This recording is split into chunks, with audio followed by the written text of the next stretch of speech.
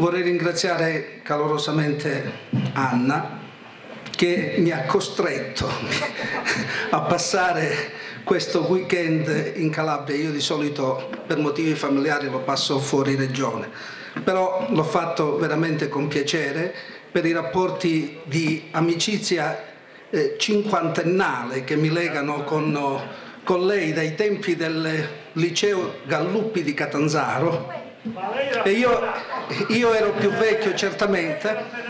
E poi, e poi per eh, diciamo, i rapporti che, collaborativi che abbiamo avuto fino a due anni fa perché io sono stato anche uh, operatore di questo ospedale di Soveria Mannelli, io sono, sono, radiologo, ho lavorato a Soveria Mannelli, purtroppo negli ultimi quattro anni da solo, e questo lo dico anche alla direzione generale, cioè con eh, grandi sforzi, eh, grandi sforzi. Comunque eh, questa è acqua, è acqua diciamo, eh, passata.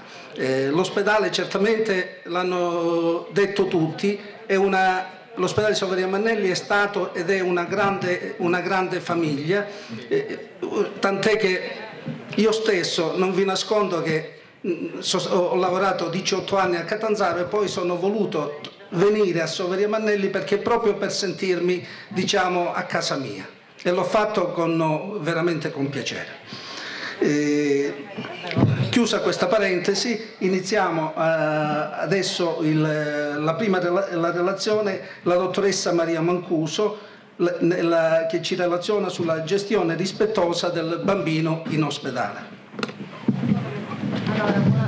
del bambino, deve dargli le cure mediche e i farmaci necessari quando lui è malato e gli adulti dovrebbero fare di tutto per evitare che i bambini si ammalano, in primo luogo nutrendo per, loro, amore, prendendosi cioè cura di essi.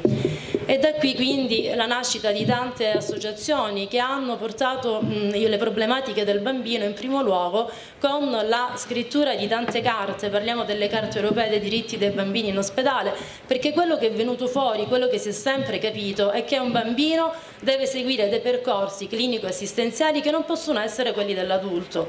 Intanto quando parliamo di bambino non dobbiamo mai pensare solo al bambino, il bambino da solo in ospedale non può esistere, ha necessità di essere accudito sentito, ha necessità della presenza della sua famiglia. Infatti il primo proprio articolo della Carta europea dei diritti dei bambini in ospedale dice che un bambino intanto deve essere ricoverato solo se necessario, dobbiamo smetterla di, di, fare dei ricoveri inutili, i bambini possono essere tranquillamente curati a casa, però ci sono quelle situazioni che ovviamente una famiglia non può gestire e in quel caso scatta il ricovero ospedaliero.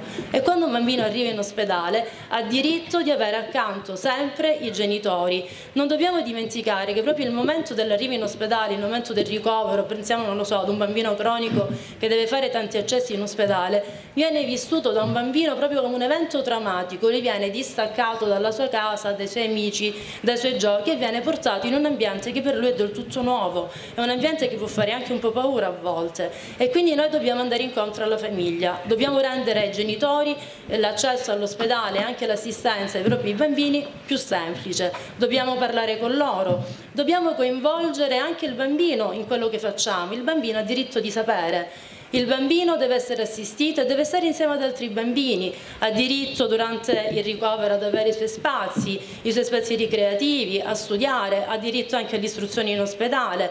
Il bambino deve essere assistito da personale competente, non ci si può improvvisare. Mm, come in tutte le cose, il nostro sapere deve essere validato dalla, da, da validità scientifiche e poi dobbiamo garantire al bambino che noi vediamo una continuità assistenziale, il tutto sempre supportato da tatto e da comprensione. E qui ho sentito tanto dire già da altri colleghi dell'umanizzazione delle cure, forse in pediatria l'umanizzazione è veramente necessaria. Eh, diciamo che eh, è necessario proprio diffondere la cultura dell'umanizzazione, che deve essere democratica, compassionevole e che deve essere soprattutto critica. Cosa deve fare quindi l'ospedale? Noi dobbiamo prenderci cura del bambino e prenderci cura della sua famiglia. Dobbiamo assicurare un'assistenza in ambienti adeguati, idonei, confortevoli e dobbiamo soprattutto limitare il trauma della malattia e della sofferenza. Non dobbiamo dimenticare che nel momento in cui un bambino arriva in ospedale portato dalla sua famiglia ha nei nostri confronti delle aspettative, sia lui che la sua famiglia e noi dobbiamo cercare di cogliere e di interpretare quelle che sono le aspettative del bambino e dei suoi genitori. Dobbiamo creare con i genitori e con le loro famiglie un rapporto di fiducia, perché i genitori si fidano di noi e ci affidano la cosa che per loro è più importante, sono i figli. E quando abbiamo a che fare con un bambino, quando un bambino è davanti a noi, non dobbiamo vedere solo la malattia del bambino, ma dobbiamo vedere quel bambino. Mi piace molto questa frase che dice appunto che non tutto del bambino malato è malato, un bambino è sempre un bambino. E quindi che cosa dobbiamo fare? Quello che forse un po' tutti noi siamo abituati, abituati a fare è che nostro, nel nostro reparto, perché siamo ovviamente un reparto di pediatria, si fa bene e che cerchiamo veramente di curare molto, è l'accoglienza. Accogliamo tutti, cerchiamo di farlo con un sorriso. Molto bello questo disegno fatto da una bambina in cui le è stato proprio chiesto mi disegni un, come vorresti che fosse il tuo dottore e la bambina ha disegnato questa bella dottoressa sorridente e ha scritto poi io vorrei una dottoressa molto dolce c'è proprio un impatto eh, emozionale importante. Un bambino deve capire che arriva in un posto sicuro. Il bambino deve capire che arriva in un posto dove viene accolto. E quindi noi cosa dobbiamo fare? dobbiamo imparare a rassicurare, ad ascoltare, a sostenere. Dobbiamo utilizzare un linguaggio a volte molto semplice, banale dipende anche da chi abbiamo di fronte, dal grado di istruzione delle persone che ci stanno eh, dall'altra parte. È inutile spiegare le cose in maniera eh, diciamo fantascientifica, bisogna utilizzare delle parole molto semplici, dedicate e soprattutto non bisogna creare delle false illusioni. Bisogna spiegare quello che sta succedendo, bisogna spiegare le procedure che si vanno a fare e il comportamento da tenere a volte nonostante magari siamo presi da tutte le nostre cose, veniamo fuori da una giornata di lavoro pesante, però quando arriva il bambino e l'apprensione dei genitori lo dobbiamo gestire proprio capendo che per loro quello è un momento importante, anche la patologia più banale per un genitore può essere importante, quindi noi non dobbiamo sminuirla. L'accoglienza è fondamentale e dobbiamo cercare di um, approcciare, di avere a che fare con il familiare che secondo il nostro punto di vista è quello più calmo, lo prendiamo come punto di riferimento e cerchiamo di discutere con chi ci dà retta. I genitori devono stare vicini al bambino, non si può pensare di fare una qualunque procedura verso un bambino senza avere accanto la figura genitoriale di riferimento. E anche se ci pongono mille domande noi dobbiamo essere pronti a rispondere sempre con pazienza, con tatto, con sensibilità e spiegare ogni volta tutto ciò che si fa passo per passo perché la reazione del bambino e della sua famiglia cambia e anche la risposta alle cure è completamente diversa se noi ci approcciamo in una maniera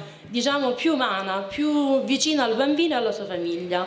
Eh, ovviamente dobbiamo offrire la nostra professionalità e quindi dobbiamo offrire il nostro sapere, oltre al, no al nostro saper fare e al nostro saper essere. Eh, e per far questo è necessario che chi si prende cura del bambino abbia conoscenza di ciò che si va a fare. Non ci possono essere dubbi sulla gestione di, delle patologie, non ci, ci sono le linee guida internazionali che ci dicono espressamente quello che bisogna fare in quel dato momento e come procedere. Ovviamente non deve essere tutto tecnico, ci affidiamo sempre anche al nostro buonsenso. E arriviamo quindi alla nostra esperienza. Come sapete tutti, nell'ottica del piano di rientro anche il nostro reparto è stato diciamo, smantellato, eh, è stato chiuso proprio come unità operativa di pediatria, però eh, come previsto anche dal piano di rientro sempre siamo stati accorpati all'unità operativa complessa di pediatria di Lamezia Terme e quindi siamo rimasti un eh, ambulatorio di pediatria con funzione anche specialistica, creiamo un, un servizio di day hospital e di pronto intervento nelle ore diurne quando il pediatra è presente. Ecco, siamo appunto un ambulatorio di pediatria e funzioniamo tutti i giorni dal lunedì al sabato dalle ore 8 alle ore, alle ore 14. Qual è la nostra mission? Ormai si usa questo termine anglosassone per dire cosa facciamo. Eh, nostro, la nostra finalità, perché siamo rimasti qui a Soveria Mannelli, sia io che eh, l'equipe che insomma lavora con me, perché abbiamo proprio sentito il bisogno di voler garantire assistenza a questi bambini della comunità eh, del Reventino. Offriamo la nostra competenza pediatrica multispecialistica offrendo degli interventi efficaci in cui il bambino eh, viene sempre posto al centro della nostra attenzione, insieme anche ai bisogni dei loro familiari, rispettando le esigenze e le tradizioni culturali e religiose. Come sapete ci sono anche delle piccole comunità multietniche insomma, poi nei paraggi, molti afferiscono anche in pediatria e cerchiamo di ospitare il bambino nei nostri ambienti che sono stati completamente ristrutturati come poi vedremo e cerchiamo di, di offrirgli un ambiente eh, dedicato il più possibile umanizzato. Eh, qual è il nostro obiettivo? Diciamo, è quello proprio fondamentale di ridurre l'ospedalizzazione attraverso l'adozione di alcune linee guida, di implementare l'efficacia e l'efficienza dei trattamenti assistenziali, sempre attraverso eh, l'adozione delle linee guida e di eh, assicurare un'integrazione con la pediatria di base, vedo qui con grande piacere la dottoressa Caruso, e con i centri SPOC, il tutto ovviamente supportato da un aggiornamento continuo di tutto il personale. Eh, per quanto riguarda il eh, paziente che arriva invece pediatrico in acuto, io devo ringraziare il pronto soccorso di Soveria Mannelli perché veramente mi offre una grandissima mano.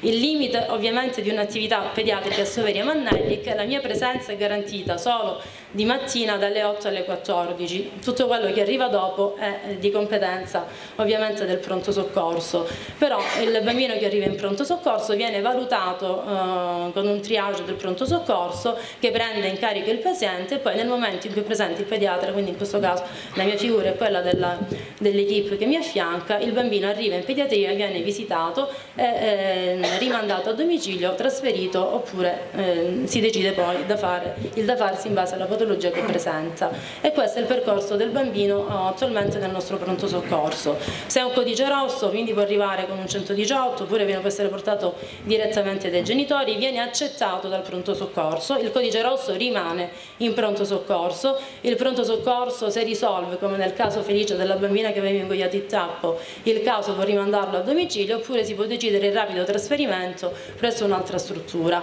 Per gli altri codici giallo, verde e bianco viene attivata la consulenza pediatrica, il bambino sale in pediatria, viene visitato ehm, e viene eh, dimesso, quindi rimandato al domicilio o nel caso in cui si reputa opportuno non dimettere il bambino perché possono esserci delle situazioni che non richiedono una dimessione insomma, immediata, si può trattenere in hobby. L'hobby è l'osservazione breve e intensiva e riguarda appunto il bambino che arriva eh, da noi in pediatria ma che non è ritenuto dimissibile perché magari presenta una patologia che vogliamo in qualche modo approfondire un po' di più. Eh, le patologie messe in hobby sono le seguenti, eh, le lipotimie, le gastroenteriti, insomma quelle situazioni che possono essere risolte nell'ambito di poche ore, che quindi non richiedono un ricovero ordinario. Infatti la durata dell'hobby deve essere comunque superiore ai 180 minuti ma inferiore alle 24 ore, nel momento in cui il pediatra è presente può decidere di reidratare un bambino eh, nel caso in cui si tratti di una disidratazione che può essere gestita, può fare una terapia antibiotica in vena, insomma il tutto si risolve ovviamente nell'ambito di poche ore e nel momento in cui la prestazione finisce il bambino si può rimandare a casa se ritenuto dimettibile oppure se non siamo riusciti nell'arco dell'osservazione breve intensiva a risolvere la problematica inerente al bambino lo trasferiamo al nostro centro di riferimento SPOC. Eh, e questa è l'attività che è stata svolta da un anno a questa parte. Come vedete la maggior parte, i numeri più grandi della nostra torta sono rappresentate dalle visite di pronto soccorso eh, in accordo con quelle che sono praticamente le percentuali in tutta Italia eh, altra grossa fetta è rappresentata anche dall'assistenza infermieristica dei prelievi esterni, cioè noi abbiamo veramente un numero congruo e abbastanza importante di bambini, eh, 543, che vengono da noi per effettuare prelievi, i prelievi ematici, che eh, non vanno a farli in laboratorio ma che salgono su direttamente in pediatria. Eh, il futuro qual è? Vorremmo fare qualcosa di più per i nostri bambini? Sì, vorremmo cercare di risparmiarli le interminabili file che si vengono a creare a volte al pronto soccorso perché magari ci sono delle situazioni di urgenza ed è per questo motivo che insieme al dottore Paola che ora non vedo abbiamo comunque deciso di eh, far partire da qui a poco una cosa bellissima, il fast track, eh, praticamente una gestione molto veloce e rapida del bambino che può essere addirittura fatta dall'infermiere, quindi dall'infermiere triagista che accetta il bambino e questo vale ovviamente solo per i codici di lieve parliamo di codici gialli e verdi, dei codici bianchi, anzi il giallo forse no perché già richiede un approccio particolare, ma sul verde e sul bianco il triage può essere affidato ad un infermiere di pronto soccorso che abbia competenze ovviamente adeguate.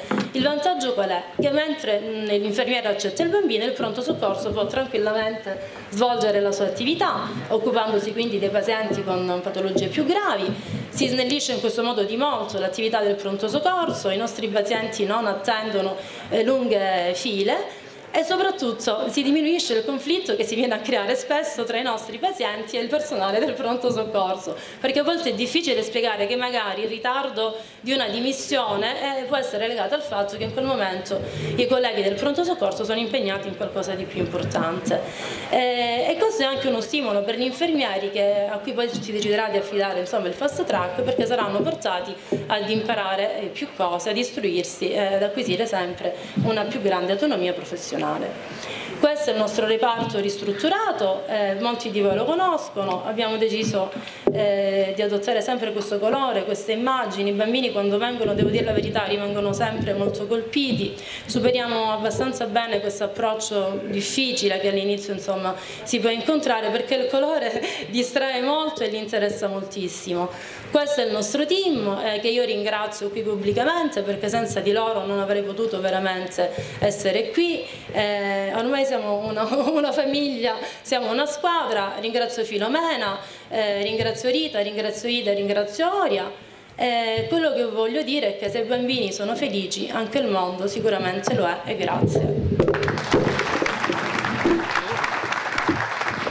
Eh, intanto la voglio ringraziare per questa, che non è una rimpatriata, per aver rivisto moltissime persone con le quali ho passato almeno oltre 30 anni della, della mia vita. E il, diciamo, il titolo a questo congresso, La medicina sobria e rispettosa, rispecchia forse quello che moltissimi di noi hanno fatto anche nella, nella loro vita. Ho cercato di carpire ad Anna, con la quale per lunghissimi anni abbiamo discusso davvero mh, di molti casi clinici sulle modalità modalità di comportamento e su quello che, con tutte le difficoltà che poi esistono in, in un piccolo ospedale, cercando di esprimere, a, di, eh, di trovare le risorse per, per risolvere il, i casi che si presentavano e in alcuni davvero molto, molto complessi. Quindi ascolterò con... Lei non mi ha voluto come dire, preannunciare nulla su quanto dirà, quindi sono molto incuriosito nel, nell'ascoltarla perché parlerà di un caso clinico un team multidisciplinare stellare, quindi sono curioso di capire eh, intanto il caso clinico e poi ascoltare questo team multidisciplinare stellare che sicuramente avrà portato alla risoluzione del caso. A te Anna. Nel 2012 è stata sottoposta al Gemelli di Roma a intervento di sostituzione valvolare mitralica con una protesi biologica. Dal 2013 per fibrillazione atriale permanente e in terapia con anticoagulanti, quegli anticoagulanti di cui ci hanno parlato il dottore Mancuso e Tonino Colosimo, e ipertesa. Nel marzo 2016 è giunta nel nostro pronto soccorso per un ictus cerebrale devastante, emorragico. Era dovuto alla rottura di un aneurisma. È stata trasferita presso l'ospedale di Cosenza, dove un eccellente neurochirurgo, di cui parleremo anche in seguito, il dottore De Rosa, ha fatto l'intervento di svuotamento dell'ematoma e clipping dell'aneurisma. Ehm, la signora stava discretamente bene e è stata mandata in, un reparto, in una clinica di riabilitazione. Poi però perché rifiutava di mangiare pur potendo mangiare è stata sottoposta a PEG che sarebbe una comunicazione diretta con lo stomaco per alimentarla. Dal 1 luglio 2016, non è 2017-2016, la paziente in questa clinica di riabilitazione presentava febbre, prima intermittente e poi continua, per cui è stata trattata con varie classi di antibiotici pensando soprattutto a un'infezione urinaria, ma senza risultato. Nonostante venisse alimentata con la PEG, presentava calo ponderale, per cui le sue condizioni generali erano molto scadute. I primi di agosto è stata fatta un'emocoltura ed è stato trovato un batterio molto pesante, un, mi pare uno strepitococco fecalis per chi è giunta quindi il 13 agosto 2016, vedete Ferragosto ritorna, è giunta eh, presso il nostro ospedale per eseguire un'ecocardiografia. E l'ecocardiografia ha evidenziato questo. Per ah, chi non è cardiologo, la cosa inquietante, vedete, è questa massa questa è una masserella attaccata alla valvola biologica che non dovrebbe esserci ed è una masserella per modo di dire perché ha delle dimensioni eh, enormi per noi, cioè supera i 15 mm, insomma è inquietante. In più eh, questa massa era molto mobile perché andava nell'atrio e nel ventricolo con i movimenti del, del cuore. L'ingegnere Furia mi aveva sistemato il filmato ma sul nostro computer non va ingegnere, grazie lo stesso ancora un'immagine di questa vegetazione. La presenza di queste masse che si chiamano vegetazione ci fanno fare diagnosi di endocardite infettiva insieme a tutti gli altri aspetti ematoclinici. L'endocardite infettiva è un'infezione un molto seria perché interessa le strutture intracardiache, soprattutto quelle artificiali come le valvole oppure per esempio i cateteri dei pacemaker. E nonostante i progressi della tecnica e della, e della scienza è gravata da una mortalità elevatissima. Questo perché quella masserella che abbiamo visto, a parte che può determinare una disfunzione della valvola da richiedere un intervento cardiochirurgico d'urgenza, si può anche staccare, embolizzare e quindi andare a livello cerebrale e dare un ictus importante e poi successivamente ascessi, oppure può andare a livello della milza e dare eh, infarti splenici, insomma è una patologia gravissima. A questo punto siccome si poneva eh, l'indicazione all'intervento cardiochirurgico, noi abbiamo provato a telefonare alle cardiochirurgie della Calabria, ma non l'hanno accettata perché aveva questa paziente una controindicazione rappresentata dall'emorragia cerebrale recente. Quindi dovevamo decidere cosa fare. Le linee guida ci sono venute eh, d'aiuto. Le linee guida, vedete, sono un aiuto e per il paziente perché sa di essere trattato allo stesso modo in qualsiasi posto si trova e per noi medici da un punto di vista legale. Ora, le linee guida 2016 della Società Europea di Cardiologia hanno introdotto un concetto che si chiama team dell'endocardite, che significa che sono necessari per seguire questa patologia diversi medici, cioè specialisti in varie materie, perché come ho detto l'endocardite può dare manifestazioni cliniche non solo a carico del cuore, ma a carico di vari organi e apparati. Inoltre le linee guida ci dicono anche come comportarci e nel caso della nostra paziente che aveva un'endocardite pericolosa ma non complicata per fortuna ancora, le linee guida ci dicevano che poteva restare in un centro non specialistico, quindi come il nostro che eravamo una divisione di medicina e cardiologia, però dovevamo avere un team di riferimento a portata di mano. Allora tenete presente, Ferragosto, come dice il dottore Paola, piccolo ospedale di montagna. Noi che facciamo? Apriamo la nostra agenda. Agenda di tante persone, di tanti conoscenti e amici che sono grandi specialisti in tutta Italia. E quindi abbiamo cominciato a chiamare infettivologi, vari a dire la verità, ma poi ci siamo affidati al dottore Caroleo che, lavora, che ha lavorato a Soveria e che lavora al Policlinico Mater Domini di Catanzaro. Abbiamo chiamato cardiologi esperti in endocardite, i massimi esperti italiani, per fortuna nostri amici, che uno del San Camillo di Roma, il dottore Paolo Pino, e la dottoressa Moreo del Niguarda di Milano. Abbiamo chiamato cardiochirurghi del Gemelli di Roma grazie al dottore Comerci che è un cardiologo di Soveria che lavora al Gemelli e il professore Cassese che lavora ehm, presso l'ospedale di Padre Pio perché un aiuto dall'alto ci voleva. Abbiamo chiamato poi un neurochirurgo. In realtà noi il nostro neurochirurgo, che è il dottore De Rosa, non dobbiamo chiamarlo perché noi sappiamo sempre che cosa fa, sappiamo che turni ha, dove si trova, possiamo chiamarla a qualsiasi ora del giorno e della notte, praticamente ci appartiene. Effettivamente ci appartiene perché è il marito della dottoressa Mercurio. Quindi, messo insieme... Quindi messo insieme questo meraviglioso team abbiamo iniziato a trattare la nostra paziente.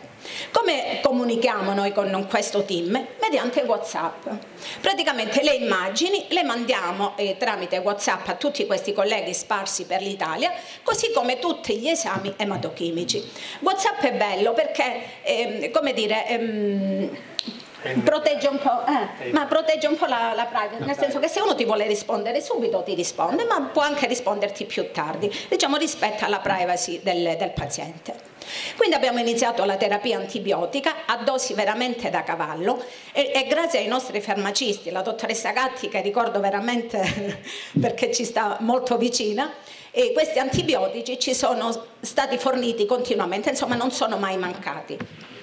Per cui sotto la guida nostri, di tutti noi medici e dei nostri meravigliosi infermieri passavano i giorni,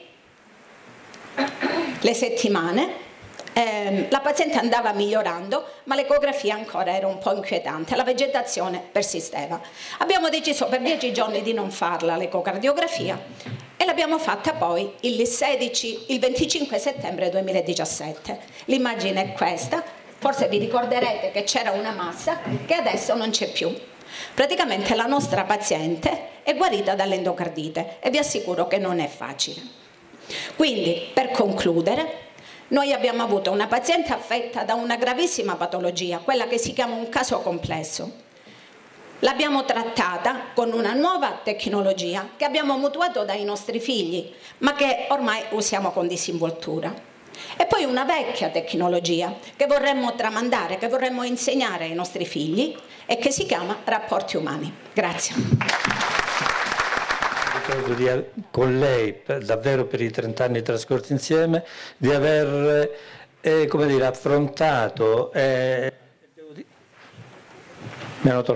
Ah, risolto anche altri problemi eh, senza Whatsapp. Whatsapp sicuramente è un'invenzione incredibile che ti consente davvero con immediatezza di trasmettere in, immagini eh, anche dal punto, dal punto, di vista medico. Poi eh, De Rosa voglio ringraziare pure, pure, io perché è il marito di Maria Mercuri, ma è assolutamente disponibilissimo per i più svariati consigli che possono anche riguardare problemi neurochirurgici. Anch'io eh, voglio ringraziare eh, le autorità politiche presenti, le autorità dirigenziali della nostra azienda. Eh, voglio ricordare che io mi sono formato all'ospedale di Soveria Mannelli dove ho lavorato per 15 anni alla scuola del dottor Donofrio che ringrazierò sempre e che Soveria è sempre nel mio cuore perché io attualmente lavoro alla Mezia ma quando ritorno a Soveria ho un sorriso in più, ho una serenità in più mh, mm, nel mio animo. E mm, poi soprattutto voglio ringraziare la dottoressa Marotta che ogni tanto mm, mi contatta telefonicamente per qualche consiglio di natura ortopedica ma la mia risposta è sempre una, Anna, tu sei la mia padrona ed io sono il tuo servo. E anche oggi è così, tu sei la mia padrona, io sono il tuo servo, sono qua per te e per tutti i colleghi di Soveria che quotidianamente svolgete la vostra ammirabile professionalità con impegno e serietà, come anche Giovanni che eh, ci, farà, eh, ci parlerà facciamo il punto, forse il punto conclusivo della situazione o no? O ancora ci resta qualche dubbio? Eh, appunto quello di fare il punto sull'ospedale di Soveria Mannelle, ma poi mi è venuta in mente un'altra idea un po' provocatoria, cioè di aggiungere altri due punti alla mia relazione, e cioè se se, se sull'ospedale di Sovranità Mandelli c'è un punto interrogativo o un punto esclamativo. Vedremo alla fine, io sono arrivato alla mia conclusione, vediamo se sono arrivata alla vostra o quale sarà la vostra. Eh, l'ospedale di Soverio lo sappiamo, situato al confine di provincia, accoglie pazienti che vengono non soltanto dal distretto del Reventino ma anche dalla vicina provincia di Cosenza e infatti se noi vediamo i ricoveri nel reparto di medicina dei primi nove mesi del 2017, una buona fetta viene dall'azienda sanitaria provinciale di Cosenza e ancora di più mm, per quanto riguarda i ricoveri uomini, abbiamo um, 121 ricoveri provenienti dalla, dall'area del Reventino, ma anche 34 dall'azienda sanitaria di Cosenza e addirittura due da fuori regione. Quindi possiamo dire che in totale, considerando anche l'attività ambulatoriale generica, anche quella di cardiologia, degli scoagulati, delle, delle attività del reparto di medicina, ormai dell'ambulatorio di diabetologia, un buon 20% dell'utenza proviene dalla vicina provincia di Cosenza e in particolare dai comuni di Panettieri, di Pedividiano, di Scigliano, qui vediamo il ponte romano di Annibale, da Colosimi fino alla, alla, alla, Sila praticamente, non è più Sila piccola, ma Bocca di Piazza è parente già è territorio silano. E poi abbiamo il comune di Bianchi che ci fornisce oltre a parecchi operatori anche parecchi clienti. Vediamo, Bianchi ho trovato queste diapositive, parla del paese delle pergamene, vedremo più in là eh, perché un territorio montano che ha fortemente disagiato, anche perché le vie di comunicazione, le conosciamo tutte, sono particolarmente mm, difficili da, da affrontare. A cominciare dall'autostrada che è stata ribattezzata autostrada del Mediterraneo, ma partendo da Salerno, il Mediterraneo si vede a Falerno dopo 320 km più o meno, quindi mh, mm, si passa più che altro fra le montagne. E tra l'altro è stata, a detta dei nostri politici, è stata terminata nel 2016, ma ad Altili, a Rogliano, fino a Cosenza ancora non se ne sono accorti il comportamento dell'autostrada, tant'è che spesso viene usata per altri scopi, eh, sia d'estate che d'inverno. Questi sono i motivi dell'autostrada. Un'altra problematica è quella della strada che non c'è. Già il nome è tutto un programma, eh, non c'è, non si sa se ci sarà in futuro questa strada, ma sta di fatto che ancora c'è il comitato però della strada che non c'è, quindi speriamo che eh, prosegua nell'attività, almeno il comitato, perché i lavori non mi pare che procedano tanto speditamente. E poi c'è la strada per la Mezia, questa è stata scazzata dalla mia macchina e nelle, in inverno spesso siamo costretti ad affrontarla in queste condizioni, ma fin quando dura ben venga, insomma è anche bello dal punto di vista paesaggistico avventurarsi in queste condizioni per chi se la sente. La ferrovia, eh beh, la, la, ferrovia della Calabria è sicuramente spettacolare, eh, però quella per Catanzaro è stata fortunatamente riaperta proprio in questi giorni perché frana in continuazione, spesso interrotta. Eh, però ci sono dei bei paesaggi. Eh, mentre invece per quanto riguarda la tratta per Cosenza, ecco, ritorniamo un attimo alla, al comune di Bianchi, il paese delle Pergamene. Qualche settimana fa sono stato ospite del professore Taverna nella sala delle Pergamene del comune di Bianchi dove sono allestite tutte queste antichissime e preziose pergamene eh, però la mia attenzione è stata attratta da un documento molto minore, molto più soft, diciamo, non è antico, in cui il sindaco eh, dell'epoca, eh, tale Accatatis, che dovrebbe essere il nonno del nostro Cesarino, scriveva, non so se riesco a vederlo, oggi in occasione del passaggio del primo treno dalla stazione di Banchi, diceva oggi invece il fischio di questa macchina ci ha detto che l'isolamento è finito. Questo documento è datato 31 mm, settembre 1918. A distanza di giusto un secolo da allora, il progresso ha fatto sì che quel treno da Bianchi non passi più. Infatti non so che è stato soppresso completamente. E quindi mh, diciamo, queste sono le condizioni spesso in cui siamo costretti a viaggiare d'inverno eh, e Ecco, è un particolare eh, riconoscimento io farei a chi quotidianamente in tutte le condizioni atmosferiche e con tutti i mezzi possibili e immaginabili si avventura per le numerose curve che ci portano a Savaria, da cui quello sottoscritto anche, eh, dicevo con, con ogni mezzo e in tutte le condizioni atmosferiche. Questo è un mezzo personale, questo è il dottore Mario Mazza in versione quattro stagioni, quattro stagioni, vero? tutto l'anno questo, questo è Mario Mazza in versione quattro stagioni. Questo è Serafino De Fazio in condizioni estreme, sono una bellissima fotografia, arriviamo anche a questo.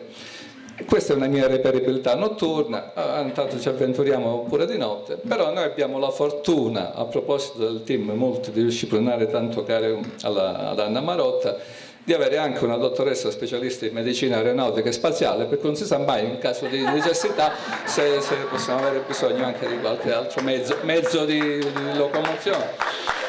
Eh, e dunque diciamo che il merito della sopravvivenza dell'ospedale di Soveria è sicuramente dovuto ai nostri politici, ai nostri amministratori, ai nostri direttori, al personale che ci lavora che viene da fuori. Così.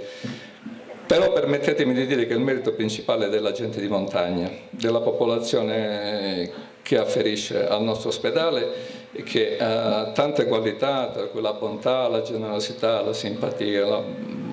ma il motivo principale del rapporto fra medico e paziente i valori principali sono la fiducia e il rispetto, questo per tornare al titolo del nostro congresso, fiducia e rispetto che sono sicuramente reciproci, ma che sono soprattutto mh, evidenti dalla parte del malato, perché se oggi possiamo lavorare a Soveria in condizioni di tranquillità, di serenità, lo facciamo volentieri, è, perché appunto non esiste, o no, finora non è esistita la mala sanità noi vediamo ogni giorno i nostri colleghi che sono, subiscono attacchi eh, di natura fisica, morale, verbale, anche mediatica, eh, mentre il poter lavorare in relativa serenità sinceramente ci fa, ci fa stare, restare volentieri a Soveria Mannelli.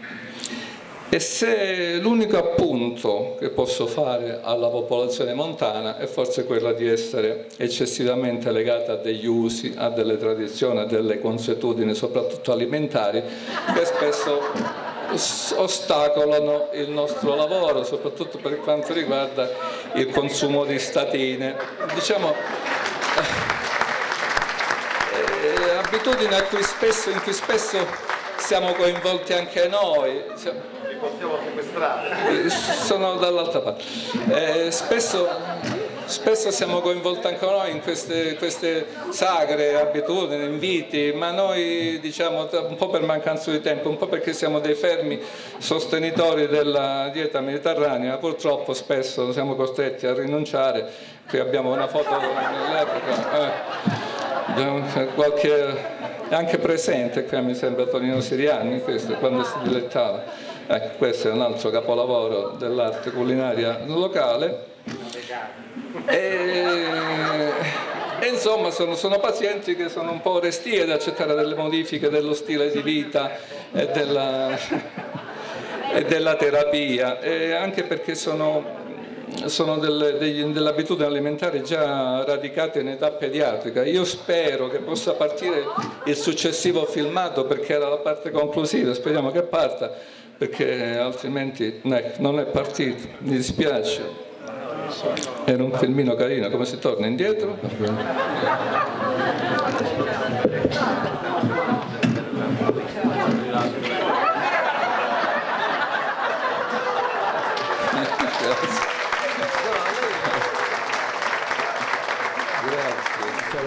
e tutti i paesi limitrofi, così come sono nelle loro difficoltà, ma L'ospedale costituisce sempre una garanzia per tutti i cittadini di questi posti che eh, difficilmente po si possono raggiungere i centri più grandi.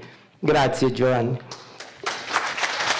Conclusiva di questo terzo simposio, io vi saluto affettuosamente e vorrei dire due cose.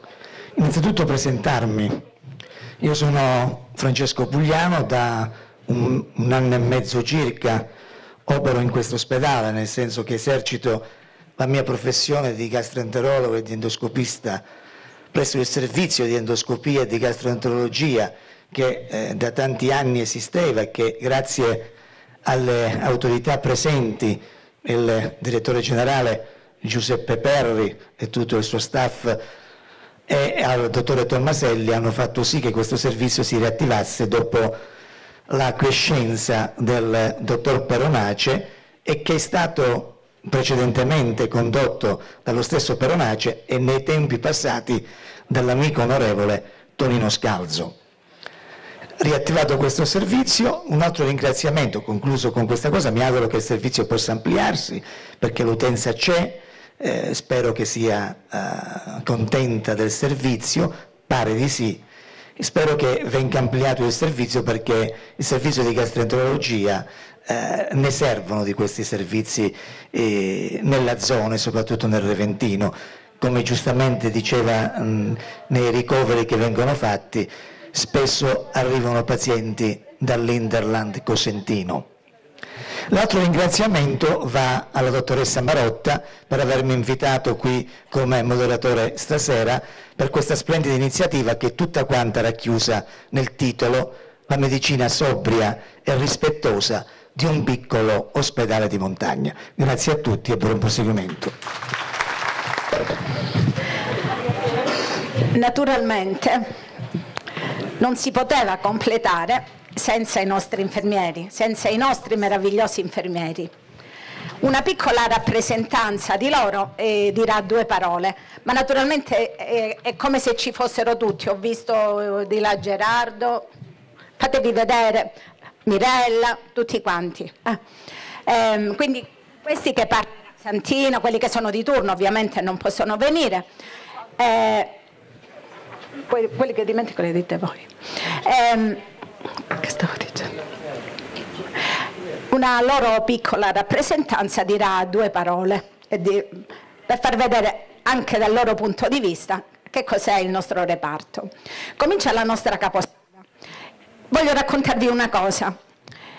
Io è da due anni che dirigo la medicina di Soveria, però in realtà è come se ci fossi sempre stata, perché i primi dieci anni della mia vita li ho passati in medicina, poi abbiamo fatto una bellissima cardiologia col dottore Bellieni, però insomma sono sempre stata legata alla medicina. Per cui conosco tante cose del, della medicina, ma eh, alcune mi sfuggivano. Per esempio il fatto che ehm, il sistema, cioè la stanza della biancheria del nostro reparto è diversa da quella degli altri reparti, perché la biancheria rep di un reparto di medicina solitamente ha le lenzuola, le coperte, le federe, i lenzuolini, quelli che servono per le medicazioni, cioè tutto quello che è necessario per il paziente.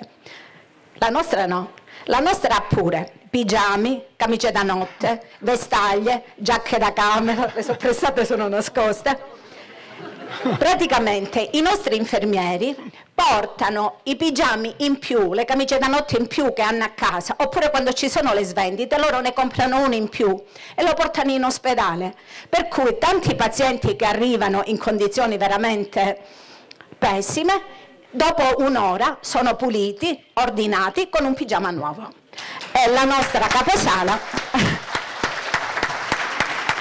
e qui capita Capita spesso che i nostri pazienti e i loro parenti si ricordino di queste cose e poi ci scrivano qualche lettera. Anna Vaccaro, coordinatrice dell'unità operativa di medicina. Nonostante l'emozione nel parlare davanti a voi tutti, oggi non posso non dare il mio contributo, poiché da 39 anni questa unità operativa rappresenta la mia seconda famiglia. Ecco, questa è la parola chiave per descrivere l'ambiente in cui lavoro, famiglia ambiente nel quale noi siamo, noi siamo coinvolti, medici e infermieri, ma sono coinvolti soprattutto i numerosi pazienti che quotidianamente ci onoriamo di assistere, non solo perché è il nostro lavoro, ma piuttosto come farebbe un figlio con i propri genitori. Ogni giorno infatti noi tutti diamo il nostro massimo impegno affinché la, la degenza nella nostra unità operativa venga vissuta con serenità e fiducia, spesso elementi necessari e fondamentali per la guarigione stessa dei nostri assistiti. Un insieme di piccoli gesti, quali un semplice sorriso o una parola di incoraggiamento, ci hanno permesso nel corso degli anni di consolidare questo ambiente familiare e annullare il divario tra paziente ed operatore sanitario. Con grande gioia e soddisfazione riceviamo quotidianamente numerose manifestazioni di gratitudine e riconoscenza da parte dei nostri leggenti e dei loro familiari. Piccole cose per ricordarci che in questa nostra piccola realtà ospedaliera stiamo facendo le cose giuste nel modo migliore. Al riguardo vorrei leggervi una delle tante lettere di ringraziamento ricevute, in quanto le parole in essa contenute non solo rappresentano per noi motivo di enorme gratificazione, ma ci ricordano che il nostro non è, un, non è solo un lavoro, ma rappresenta piuttosto un modo di essere e di vivere. Eh, allora vi leggo la lettera. Scriviamo questa lettera con tanto affetto nel cuore per ringraziare gli operatori tutti del reparto di medicina del presidio ospedaliero di Sovria Mannelli. Abbiamo apprezzato l'umanità e la delicatezza con cui il personale tutto opera, cercando di alleviare la sofferenza e accompagnando malati e familiari con discrezione e professionalità. Ci avete rassicurati nel dubbio, protetti nelle sofferenze, gioito con noi nelle piccole vittorie quotidiane, riconoscendo sempre l'identità dell'ammalato come persona al di là della malattia e dei protocolli.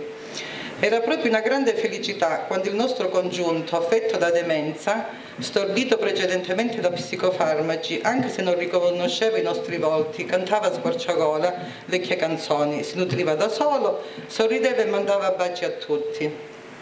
Un vero peccato a quanto pare il nostro territorio rischi di perdere questa realtà ospedaliera che oltre alla professionalità sa offrire operatori validi capaci di prendere a cuore le persone, specialmente fragili, nei momenti più dolorosi e bui della vita.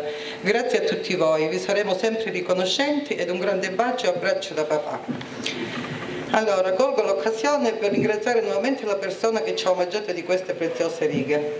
Infine voglio rivolgere un ringraziamento alla dottoressa Marotta, a tutti i medici e, e un ringraziamento particolare a tutti i miei infermieri Potrebbero sembrare le solite parole banali, ma mi preme rivolgere loro la mia personale stima e gratitudine per la grande professionalità e l'impegno profuso nello svolgimento delle loro mansioni, spesso anche con grandi sacrifici personali, a testimonianza del profondo spirito di appartenenza che ci accomuna e unisce tutti.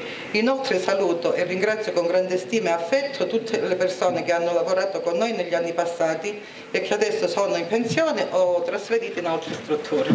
Grazie. Noi, adesso noi presentiamo gli infermieri un poco uno alla volta. Eh, io mh, ho il compito di presentare un infermiere che connubia bene il, la professionalità, la competenza, ma anche un mantenimento di buoni rapporti interpersonali. E, per quanto riguarda la prima, la prima per quanto riguarda la professionalità, sono molti che ricordano i suoi massaggi cardiaci e quindi questo vuol dire che sono stati efficaci, eh, eh, ma per quanto riguarda l'altro lato vorrei raccontare un aneddoto, se mi permette Rosalbino. Eh, ehm, una notte facevamo la notte, io, lui e un'altra infermiera, la signora Maria che è qua. Beh, c'era una signora che disturbava tutto il reparto, gridava in continuazione. Poi a un certo punto uh, si fermava, non gridava più.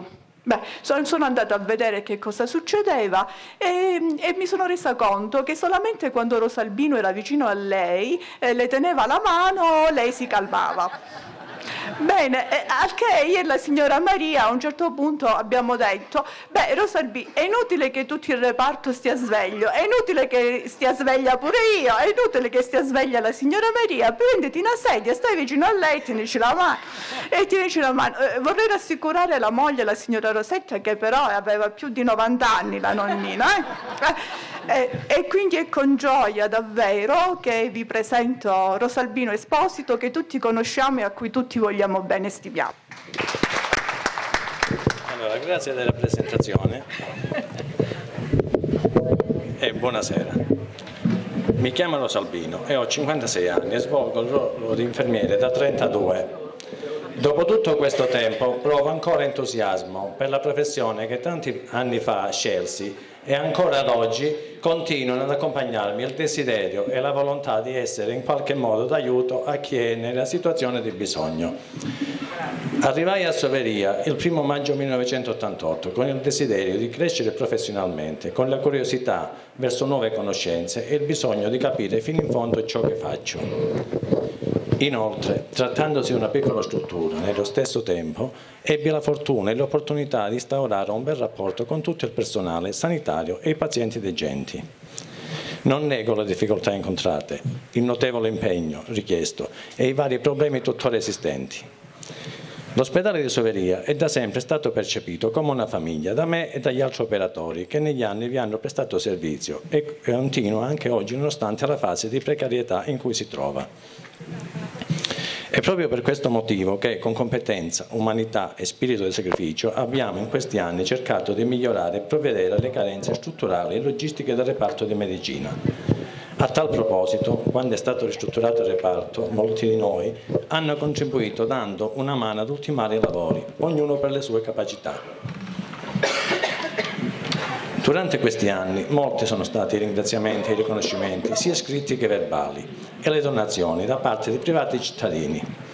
Un atto di generosità che testimonia il forte legame e il profondo senso di vicinanza della struttura sanitaria, avendo sempre chiaro l'obiettivo principale, assicurare il meglio a chi si affida alle nostre cure e rendere la reggenza meno dolorosa di quanto già sia. In particolare alcune di queste donazioni hanno preso forma nella sala d'attesa, creando un ambiente più confortevole e a disposizione dei pazienti, di amici e di parenti che la accompagnano. È stata arredata con un comodo divano, sedie e un tavolino. Inoltre è stato possibile allestire una libreria e un televisore a disposizione degli utenti. Negli ultimi mesi si è deciso di iniziare una raccolta fondi per acquistare nove televisori, con relativo sostegno, destinati alle camere di leggenza per migliorare i comfort offerti e per fare ciò che eh, si è reso necessario rifare l'impianto antenna TV, che è stato realizzato grazie al lavoro di un tecnico a titolo gratuito. Questo obiettivo è stato raggiunto in breve tempo, grazie alla generosità del personale, ma anche grazie ai pazienti e alle loro famiglie che hanno contribuito. I nostri obiettivi non finiscono qua, ma cercheremo di raggiungerne altri. Grazie a tutti. Buonasera. Allora, a me tocca presentarvi l'infermiere Sergio Bonacci. E, ehm, è un infermiere molto simpatico e dotato di uno spiccato senso dell'umorismo. Avevamo in reparto un, ricoverata una signora di nome Delfina, una signora tendenzialmente triste, non rideva quasi mai. Sergio Bonacci eh, una mattina molto presto all'inizio del turno ha messo sul suo comodino l'immagine di un delfino. La signora, quando se ne è accorta, si è messa a ridere e a noi questa cosa ci ha meravigliati molto. Mentre entravamo, la signora è, nella stanza della visita si è rivolta a noi e ci ha detto stamattina sono molto contenta perché ho trascorso la notte con mio marito, la signora Delfina col delfino. Questo è Sergio Bonacci, una persona, nella fattispecie un infermiere, che riesce a far, a so far, sorridere le persone anche in situazioni poco piacevoli, quale ad esempio la malattia. Sergio Bonacci. Grazie. Io sono 40 anni che sono in servizio, eh, ho lavorato nella medicina, geriatria, lungodegenza, quindi sembra doveroso dare, dire due parole per questi anziani che, che spesso vengono un po' diciamo, emarginati. Allora, io inizio, ho dato questo titolo a questa mia relazione dicendo grazie nonni. Allora, questo è il titolo che ho voluto dare a questa mia relazione per la giornata di oggi. Sento l'esigenza di dover spendere due parole per quello che ho dato e per quello che mi è stato dato nei miei 40 anni di servizio presso il nostro ospedale. Come ben sappiamo, gli anziani rappresentano una grande risorsa per le famiglie e per la società sono primariamente esempio di saggezza e di valore di tutto rispetto. In molti casi inoltre sono sostegno economico e soprattutto sono un supporto fondamentale nella gestione dei nipotini, i nonni babysitter diciamo, per intenderci. Una, una, fortuna che diciamo, non tutti ce l'hanno. Nel corso degli anni però ho avuto modo di osservare diverse situazioni alquanto spiacevoli. Mi, riferisco all'emarginazione, all'abbandono e al totale disinteresse dei nostri nonni, nei, quali, nei loro periodi più bui, caratterizzati da malattia, da non autosufficienza, una condizione ingiusta che fa male all'animo e soprattutto alla dignità. L'ospedale, dal momento del ricovero, è il dovere della cura e della degna assistenza degli anziani. Dietro, dietro, molti di loro ci sono storie di dolori, di guerre, di fame, di enormi sacrifici. Assistere vuol dire riconoscere e rispettare tutto questo. Essere infermiere non è un lavoro, ma una missione che, parte da dentro, che parte da dentro, che si spinge ad andare oltre oltre il nostro egoismo, vuol dire comprendere e non dimenticare. Per quanto ho potuto, nonostante er errori alti e bassi, ho portato avanti il mio lavoro con amore e passione, dando il massimo di me stesso. Oltre ad assistere nei loro bisogni gli ammalati, ho cercato di alleviare le loro sofferenze e soprattutto dargli sollievo a queste sofferenze. Penso che in tutte le cose l'unione fa la forza. Importante è il sostegno che deve essere sempre garantito. È per questo motivo che in reparto come, oggi, come il nostro oggi, ovvero un reparto di lungodegenza, diventa necessaria la presenza, oltre a quella degli infermieri, di personale giovane, di osso, di oto, tutto ciò che nella stretta collaborazione, ognuno nel riconoscimento e nel rispetto della propria professione e di quella altrui, in questi ultimi anni, per vari motivi, siamo stati in servizio solo due infermieri, senza personale di supporto. Questo ha comportato un carico di lavoro eccessivo, distribuito sui soli due, che hanno svolto anche funzioni di tutto fare, diciamo, centralinista, portinaio, personale, ausiliare, abbiamo fatto di tutto, pur di mantenere il nostro reparto.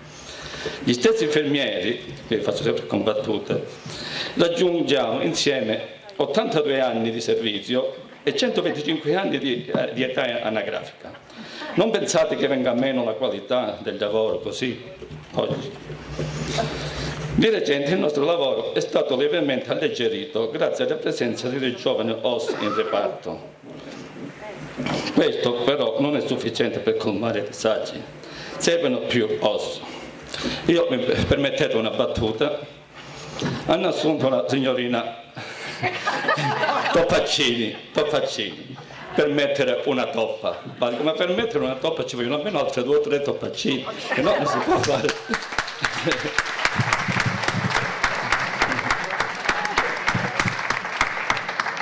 La loro collaborazione è fondamentale per la prevenzione. Un esempio sono le lesioni da recupero, che è sempre segno di una cattiva assistenza. Vorrei ricordare che, l'azienda, all'azienda costerebbe molto meno un operatore in più piuttosto che trattare problematiche del genere. Spesso giungono insinuazioni sul nostro reparto, questa è una cosa che un po'... C'è chi ignorantemente o per malafede dubita sul nostro lavoro, su quanto sia realmente impegnativo e gravoso.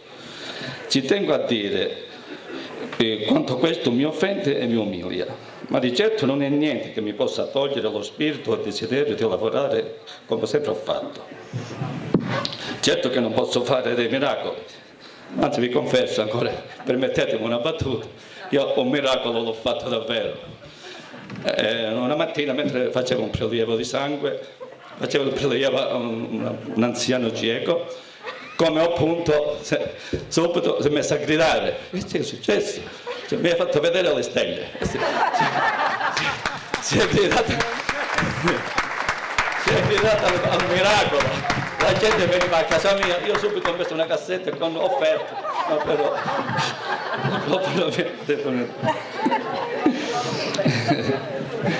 mi auguro il meglio che il meglio sia quello giusto. Grazie a tutti E grazie a voi nonni che mi avete arricchito tanto con i vostri racconti, i vostri esempi ed esperienze di vita che tengo custoditi preziosamente dentro di me. Grazie. Io devo presentare la signora Maria Pane, che è un altro punto di forza della divisione di medicina. È una donna forte, anche se piccolina, ed è sempre presente al lavoro, è molto comprensiva e gentile con i pazienti. Le hanno dato un nome particolare, non lo voglio dire però, perché è sempre elegante. No. E soprattutto, lo dice Tonino, io non, non lo dico. E soprattutto per la sua mania che ha di indossare foulard, anche stasera. Peccato che tra qualche mese non ci sarà più con noi, ci mancherai tanto tanto. Grazie. Grazie signora Maria. Buonasera, scusate l'emozione. Saluto tutti i presenti e ringrazio in particolare la dottoressa Marotta per l'opportunità che mi ha dato di intervenire in questo incontro. Sono un'infermiera professionale, ho iniziato a lavorare nel 1976, proprio nel reparto di medicina, dove tuttora lavoro. In questi 41 anni ho assistito al cambiamento dell'ospedale. Ricordo che quando ho iniziato solo nel mio reparto avevamo a disposizione 50 posti letto, con pazienti che arrivavano anche da fuori regione. L'ospedale svolgeva tutte le funzioni che oggi sono svolte dai grandi ospedali in questi anni abbiamo vissuto diverse esperienze, sia positive che negative, mettendo sempre al primo posto i bisogni dei pazienti, fornendo a loro e alle loro famiglie un punto di riferimento. Nonostante negli ultimi anni l'ospedale ha sta affrontando diverse difficoltà dovute al ridimensionamento dello stesso, il vero punto di forza di questo ospedale è il rapporto di collaborazione e di stima tra i vari operatori che con grande spirito di sacrificio portano avanti questa struttura come una grande famiglia. Fra pochi mesi andrò in pensione e il mio augurio è che l'ospedale riprenda il vigore di un tempo, cercando di mantenere le caratteristiche che da sempre lo contraddistinguono, come un piccolo ma grande ospedale di famiglia. Presentare adesso la più giovane, la più motivata, la più impegnata anche dal punto di vista politico. Non sto qui a raccontare gli aneddoti se no facciamo notte, solo che posso mostrare qualche fotografia che dimostri il suo carattere sempre allegro, gioioso, spiritoso, ma comunque sempre altamente professionale. Francesca Bartolotta. Buonasera a tutti. Anch'io da buona politica faccio un ringraziamento ai medici, dirigenti, moderatori, tutti quelli che mi hanno preceduto, eh, ma un ringraziamento di cuore lo devo alla dottoressa Marotta e ai suoi collaboratori che sono qui insieme a lei, anche ai collaboratori esterni che ti hanno aiutato alla realizzazione di questo splendido evento perché erano anni che a Soveria non si organizzava un evento di tale importanza.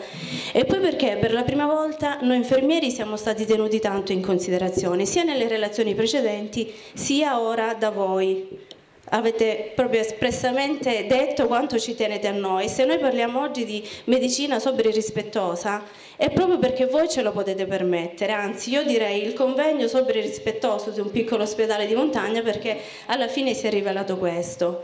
E questa sera qua si è parlato di, soprattutto di bambini, di come vengono curati i bambini, si è parlato del rapporto bellissimo che c'è tra medico e paziente eh, si è parlato eh, di tantissime cose, dovevamo parlare anche di un servizio farmaceutico che funziona, ma funziona a singhiozzi, abbiamo parlato di un servizio di radiologia, ma diciamola tutta, il vero motore, la forza motrice dell'ospedale siamo soprattutto noi infermieri, coaiutati da loro, perché se è vero che il medico cura il paziente, a prendersi cura del paziente è proprio l'infermiere.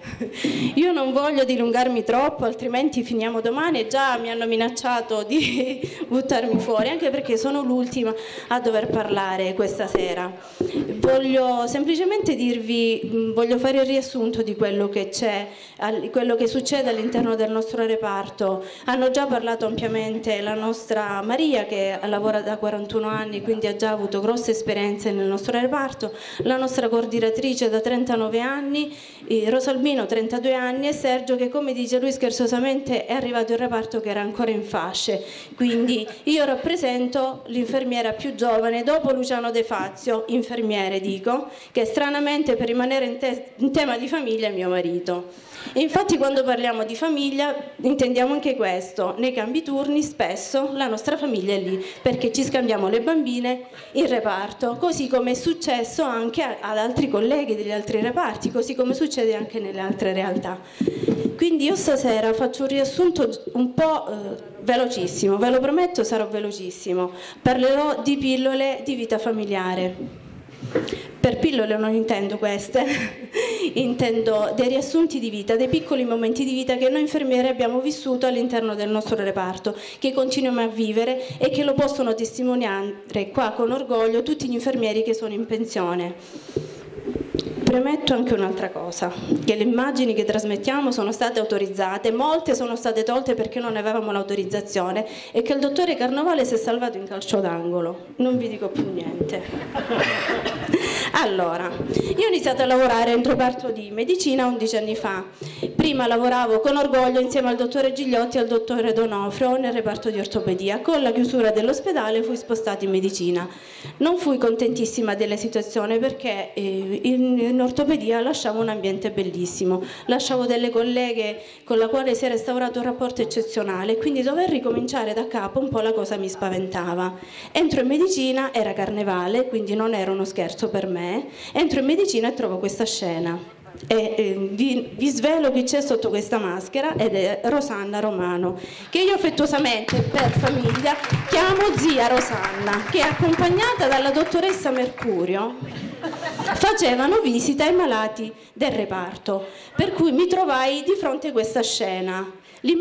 La, la, sensazione mia fu grandissima perché eh, in quel momento capii che medicina occupava, la medicina si occupava del paziente non solo dal punto di vista farmacologico, terapeutico, ma si occupava soprattutto del paziente dal punto di vista emotivo, dal punto di vista scherzoso, riuscivano a scherzare anche con il paziente.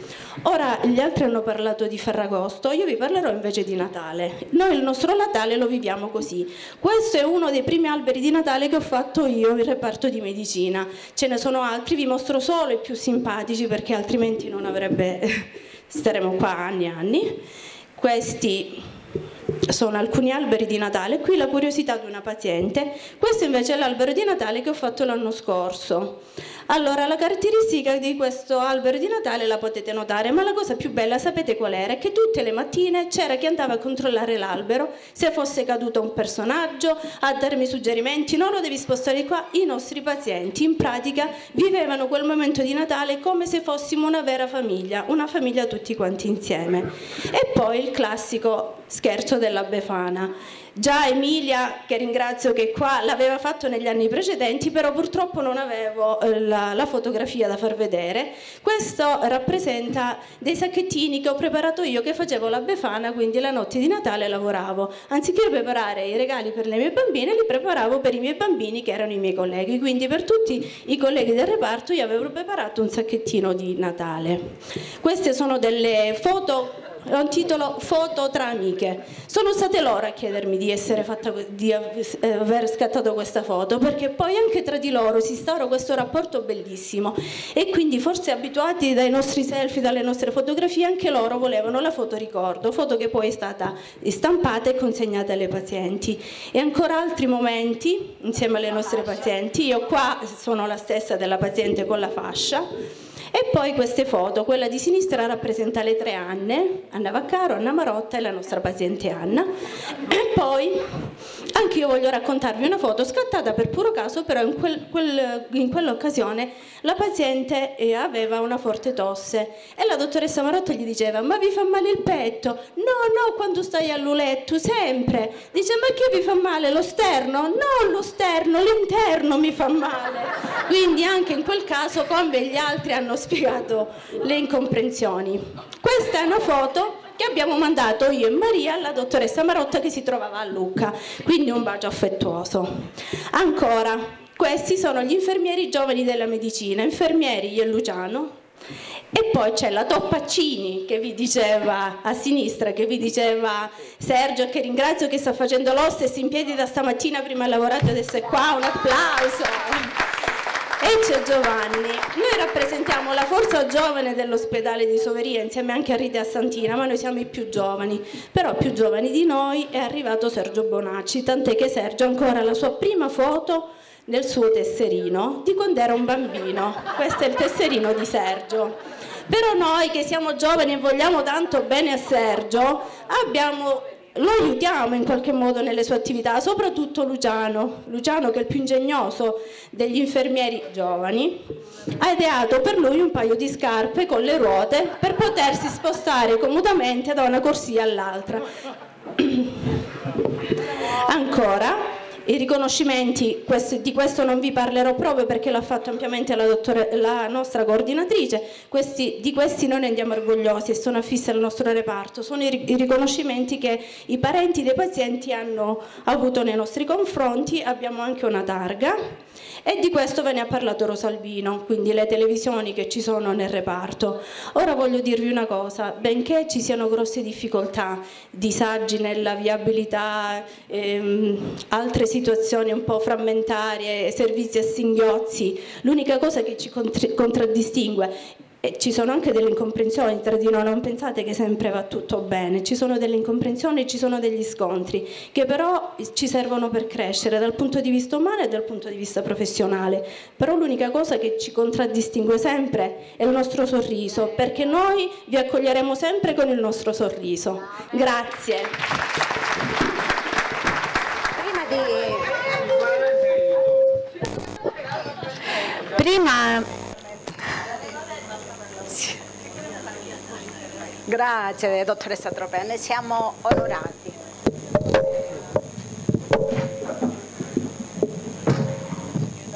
Buonasera a tutti, io sono Renata Tropea e faccio i miei complimenti a tutti quanti, ho lavorato in questo ospedale e so benissimo che cosa vuol dire qui la qualità dei rapporti, la, la qualità delle prestazioni, il livello di assistenza, le difficoltà che vengono gestite insieme agli altri colleghi, insieme agli infermieri, insieme ad un ambiente che accoglie, un ambiente dove non ci sono almeno contrasti estremamente evidenti di quelli che tolgono l'efficienza, che tolgono il piacere di lavorare insieme.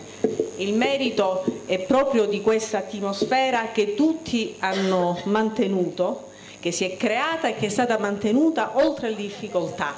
Le difficoltà in genere dividono, le difficoltà eh, rallentano, le difficoltà fanno scadere la qualità un po' in tutto. Qui non è successo, c'è stato un ridimensionamento, ma ritengo che la qualità eh, si è mantenuta nonostante tante cose. E, mh, mm, ringrazio e do i miei complimenti ad Anna, che è una collega disponibilissima, anche a nome dell'Associazione Donne Medico, di cui fa parte, eh, di cui io sono presidente e quindi è con noi e con me, insieme a Caterina che è qui presente, Ermio, e siamo veramente liete perché è una collega che dà grandi contributi dove interviene e dove lavora, fa rete, ama la rete non per mettersi in evidenza ma per lavorare. Noi siamo donne che lavoriamo insieme ai colleghi. Grazie.